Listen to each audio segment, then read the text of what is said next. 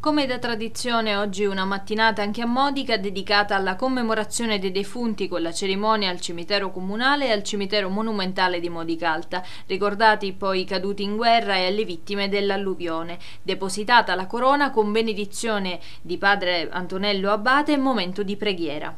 Eh, oggi per la Chiesa è un momento molto particolare perché intanto accomuniamo, mettiamo assieme tutti gli affetti più cari per i nostri cari.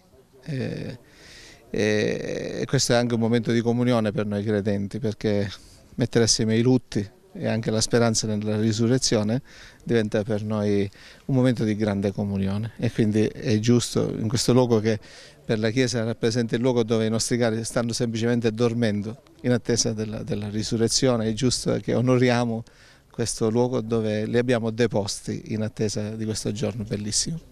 Purtroppo però, come era facile prevedere, anche l'amarezza da parte di chi non ha potuto lasciare un fiore sulla lapide dei propri cari perché si è visto l'accesso bloccato da delle transenne e la situazione che si è registrata in alcuni colombai nella parte vecchia del cimitero che restano interdetti al pubblico perché pericolanti. Per questi sfortunati cittadini l'unica soluzione è stata quella di pregare da lontano, magari lasciando un fiore proprio sulle transenne. È vero che diciamo, nelle spoglie mortali dei nostri cari noi abbiamo il ricordo terreno dei nostri cari, perché nel corpo li abbiamo conosciuti, li abbiamo sperimentati, no? però è anche vero che poiché la morte comunque crea una vera separazione, l'unico modo per raggiungerli è la preghiera. È uno schifo praticamente.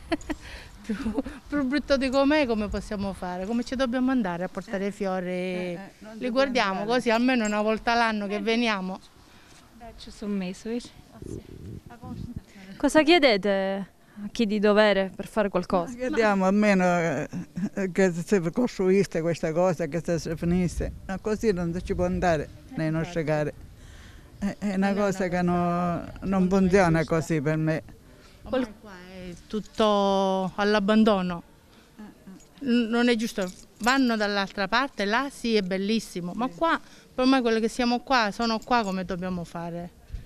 Non è che li possiamo trasportare, è un peccato ormai che abbiamo speso dei soldi per metterli qua, ora dobbiamo spendere gli altri per metterli là, non è giusto secondo me.